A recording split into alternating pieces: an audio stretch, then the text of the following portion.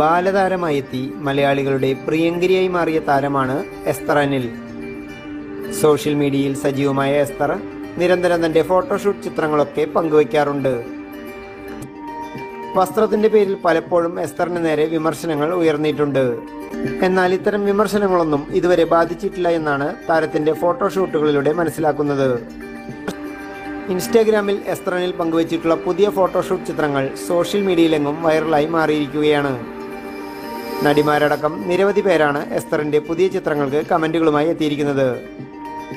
ഇൻസ്റ്റാഗ്രാമിൽ എസ്തറിന് പതിനൊന്ന് ലക്ഷത്തിലേറെ ഫോളോവേഴ്സാണുള്ളത് ഷാജി അൻ കരുൺ സംവിധാനം ചെയ്ത ഓൾ എന്ന ചിത്രത്തിലൂടെ എസ്തർ ആദ്യമായി നായികയായും അഭിനയിച്ചിരുന്നു.